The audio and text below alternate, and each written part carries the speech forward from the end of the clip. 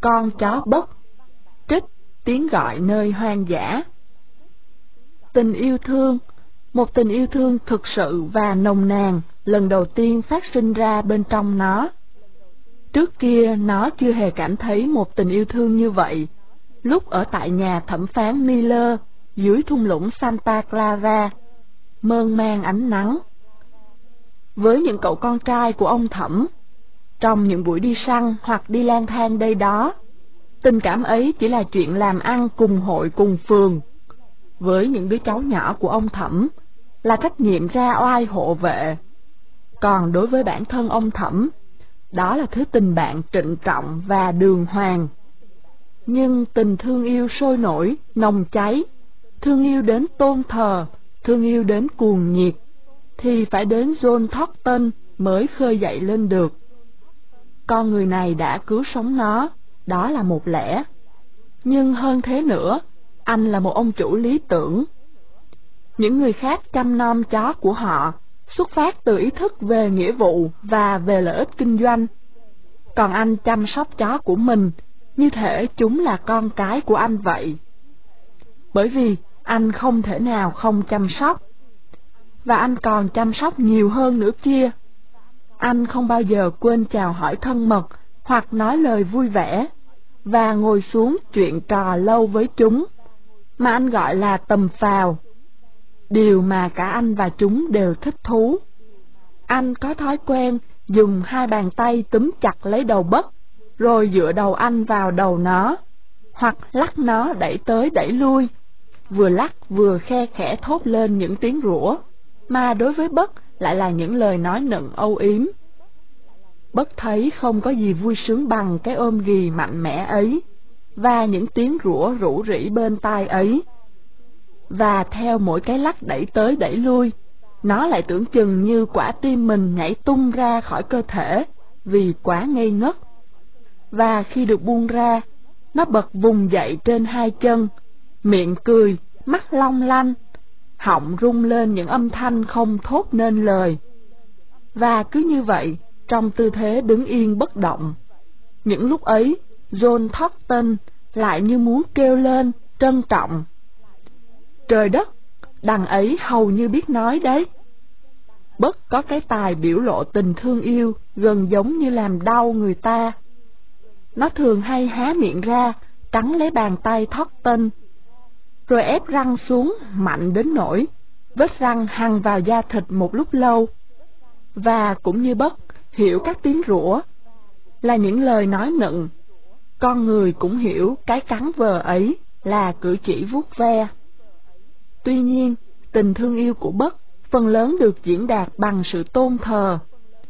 Mặc dù nó sung sướng đến cuồng lên mỗi khi thóc tên chạm vào nó hoặc nói chuyện với nó nhưng nó không săn đón những biểu hiện ấy khác với cô ả sơ kít có thói quen thọc cái mũi của nó vào dưới bàn tay của thoát tên, rồi hít, hít mãi cho đến khi được vỗ về. Cũng khác với nít, thường chồm lên, tì cái đầu to tướng của cu cậu lên đầu gối thoát tên. Bất chỉ tôn thờ ở xa xa một quãng. Nó thường nằm phục ở chân thoát tên hàng giờ, mắt háo hức, tỉnh táo, ngước nhìn lên mặt anh, chăm chú xem xét hết sức quan tâm theo dõi từng biểu hiện thoáng qua, mọi cử động hoặc đổi thay trên nét mặt. Hoặc cũng có lúc nó nằm ra xa hơn, về một bên hoặc đằng sau anh, quan sát hình dáng của anh và từng cử động của thân thể anh. Và thường thường, như mối giao cảm giữa họ với nhau, sức mạnh ánh mắt của bất làm cho John Thornton quay đầu sang và nhìn lại nó không nói năng gì. Đôi mắt anh tỏa rạng tình cảm tự đáy lòng, trong khi tình cảm của Bất ngời ánh lên qua đôi mắt nó tỏa rạng ra ngoài. Một thời gian dài sau khi được cứu sống, Bất không muốn rời thoát tên một bước.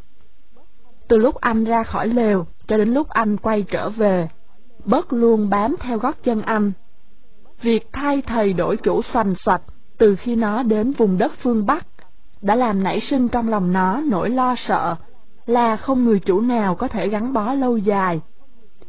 Nó sợ thoát tên, cũng lại biến khỏi cuộc đời nó như Peron và François. Và anh chàng người Lai Ecot đã đi qua rồi biến mất trước đây. Ngay cả ban đêm, trong các giấc mơ, nó cũng bị nỗi lo sợ này ám ảnh. Những lúc ấy, nó vội vùng dậy không ngủ nữa, trường qua giá lạnh đến tận mép lều, đứng đấy, lắng nghe tiếng thở đều đều của chủ. Rắc lên đên tiếng gọi nơi hoang dã. Dựa theo bản dịch của Mạnh Chương, Nguyễn Công Ái, Vũ Tuấn Phương, nhà xuất bản Long An năm 1987. Nhan đề đoạn trích do người biên soạn đặt. Chú thích Jack London, sinh năm 1876, mất năm 1916, là nhà văn Mỹ. Ông trải qua thời thanh niên vất vả, từng phải làm nhiều nghề để kiếm ăn và sớm tiếp cận với tư tưởng của chủ nghĩa xã hội. Vì những lẽ đó, ông thường được so sánh với Maxim Gorky của Nga. Jack London là tác giả của nhiều tiểu thuyết nổi tiếng như Tiếng gọi nơi hoang dã năm 1903, Sói biển năm 1904, Nanh trắng năm 1906, Gót sắt năm 1907. Văn bản Con chó bất, trích tiểu thuyết Tiếng gọi nơi hoang dã. Tác phẩm kể về bất, một con chó bị bắt cóc đưa lên vùng Bắc Cực để kéo xe trượt tuyết cho những người đi tìm vàng. Bất đã qua tay nhiều ông chủ độc ác. Chỉ riêng John Thornton là người đã có lòng nhân từ đối với nó, và nó được cảm hóa. Về sau, khi Thornton chết, nó hoàn toàn dứt bỏ con người, đi theo tiếng gọi nơi hoang dã và trở thành một con chó hoang. Thẩm phán Miller là viên quan tòa giàu có, người chủ đầu tiên của Bất. Cùng hội cùng phường, ý nói cùng phe cùng cánh với nhau. Hộ vệ là bảo vệ. Đường hoàng là thẳng thắn, không sợ hãi, không rụt rè. Đằng ấy là tiếng xưng hô thân mật, giống như cậu, mày. Sơ kíp, nít là tên hai con chó. Giao cảm là cảm thông lẫn nhau. Peron, Francois, anh chàng người Lai Ecot, một số người chủ cũ của Bất. Đọc hiểu văn bản. một Hãy xác định bố cục của bài văn theo trật tự diễn biến sau đây. A. Mở đầu B. Tình cảm của tên đối với Bất C tình cảm của bất đối với chủ. Căn cứ vào độ dài ngắn của mỗi phần, xét xem ở đây, nhà văn chủ yếu muốn nói đến những biểu hiện tình cảm của phía nào. 2. Cách cư xử của tên đối với bất có gì đặc biệt và biểu hiện ở những chi tiết nào? Tại sao trước khi diễn tả tình cảm của bất đối với chủ, nhà văn lại dành một đoạn để nói về tình cảm của tên đối với bất? 3. Tình cảm của con chó bất đối với chủ biểu hiện qua những khía cạnh khác nhau ra sao? Nhận xét về năng lực quan sát của tác giả khi viết đoạn văn này. 4. Chứng minh trí tưởng tượng tuyệt vời và lòng yêu thương loài vật của nhà văn khi ông đi sâu vào tâm hồn của con chó bất. Ghi nhớ Trong đoạn trích Con chó bất, nhà văn Mỹ London có những nhận xét tinh tế khi viết về những con chó, thể hiện trí tưởng tượng tuyệt vời khi đi sâu vào tâm hồn của con chó bất, đồng thời bộc lộ tình cảm yêu thương của mình đối với loài vật.